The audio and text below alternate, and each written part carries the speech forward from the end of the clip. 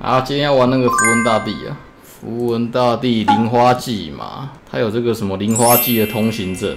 那如果你有买，你有买那个通行证的话，就会这个专尊爵不凡，一开始就可以领一只灵狐。这个没有没有花没有花下去，应该是不太行。然后他这一次这个什么实验室有改版嘛，对不对？等一下我就是要来玩实验室，马上遇到自己人，好，非常好。你完蛋了，我我我不是随随便便的啊，是很强的。潜行割喉者，好，先去割他一波喉。哦哦哦，他那个传承把它传承下来，下面传的很好，传的很好。我这一只变八十二，过瘾过瘾过瘾！我等下再加他上去死。升级之后是什么？伤害三次哦，干好猛哦！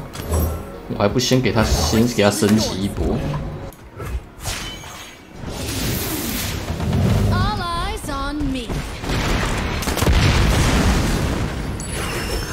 哦，只要打出去就有了哦，所以我刚刚这只可以上上去。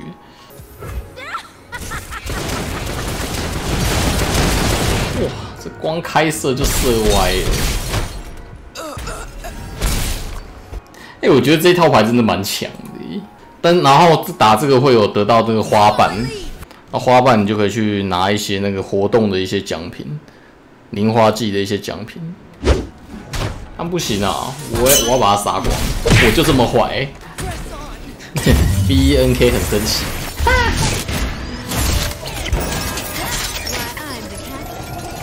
下一位挑战者，不然再死而不僵一场怎么样？我开始觉得闪灵好像很好玩呢。在一点六版本跟一点七版本都会有两个史诗级的任务可以去解。他也他只有那只三的可以挡而已吧？哈，来你继续去养嘿，来你继续养，你就去养那一只，来你养你你很养。在手牌生成一张暗影之魔。我就一直暗影之魔，一直狂转移，转移，来，这个要被我转移，他就是，他他就是一个需需要被转移的对象。我又要转移一次，唔丢呢，唔丢呢，安尼唔丢，看我身上没牌了，我的天哪，我怎么？看我真的死定了啦！我怎么都没有什么可以养的啦！我的天哪，他又要剁我了！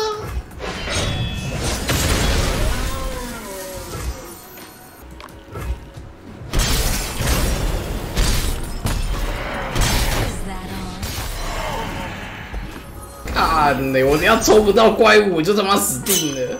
哇！舒服啊，相当的舒服啊！我早就知道会抽到你了，哈哈哈不要再想了啦，你再想也不会有结果的啦。哎，哎，你现在就动我，那你下一回合怎么办？我可以直接打吧。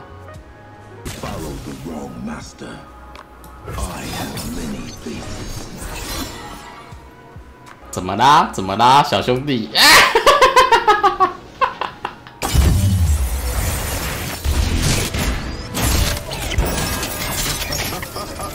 我再给你们最后一次机会拍进来，OK 啊？那你们就看我闪灵小弟处理一下。哦，我这个这么多闪灵哦，哎，这个鲨鱼真的超酷的哎！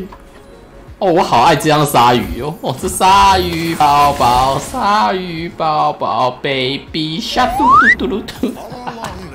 哎，我不用留，我全家死光光，赫克林变超级猛 哎！好好，都去死，都去死，要去吸血了。血量为什么那么多？这个是那个实验室，实验室的新模式传承，配合这一次这个符文大帝这个灵花季，OK，相当有趣。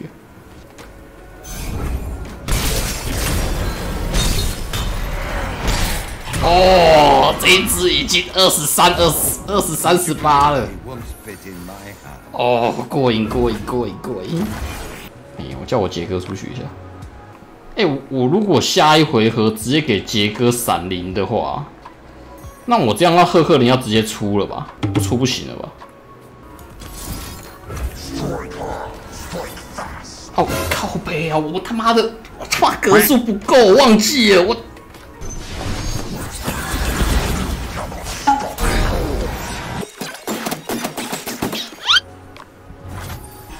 哎，我又有闪灵的！我，哇，这一只闪灵隐秘的、隐秘的、隐秘的那一种，很隐秘，相当的隐秘。我这一次真的要转移给他们。啊！